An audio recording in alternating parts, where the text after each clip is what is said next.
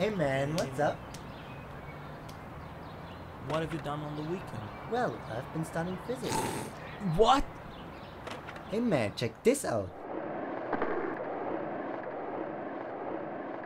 The force of my skateboard is equal to my weight multiplied by my acceleration.